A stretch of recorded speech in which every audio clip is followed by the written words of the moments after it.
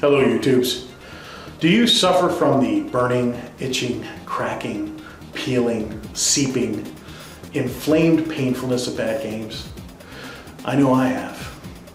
Take a dose of fancy action now and watch my videos until you have a rich, foamy lather of game review goodness.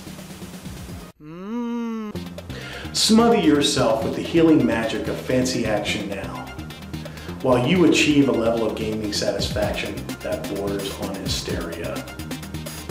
Remember to rate, comment, favorite, and subscribe uh, because every time somebody watches a Fancy Action Now video without it, someone kicks a puppy, and nobody wants that.